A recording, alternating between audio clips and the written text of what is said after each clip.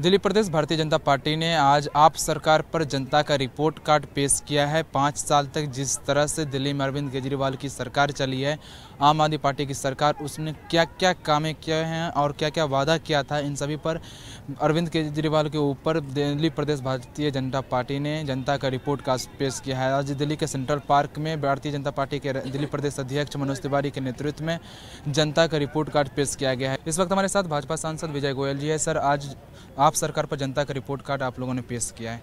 क्या है ये रिपोर्ट कार्ड? जब भी कोई सरकार पाँच साल के लिए चुनी जाती है तो ज़ाहिर तौर पर जनता अगले चुनाव से पहले ये देखती है कि सरकार ने क्या काम किए। दिल्ली की जनता को लगता है कि केजरीवाल सरकार ने विश्वासघात किया है, विश्वास को तोड़ा है और केवल झूठे वायदे किए हैं उनको पूरा नहीं किया। उसमें सबसे बड़ी बात है प्रदूषण और गंदा पानी।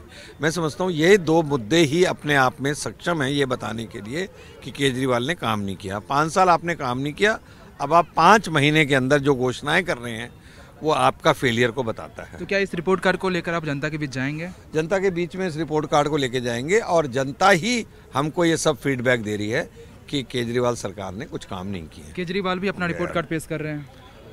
वो झूठा है उन्होंने कुछ काम नहीं किया सब आखिरी सवाल सर राहुल गांधी कहा है? कि सीए और एनआरसी पर नोटबंदी जैसा हाल होगा देश में?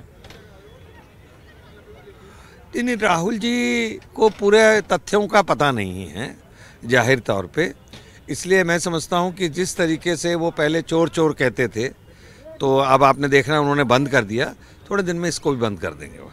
तो थोड़े दिन में इसको भी बंद कर देंगे। कैमरामैन पंचानन के साथ केशव कुमार झा एच न्यूज़ दिल्ली।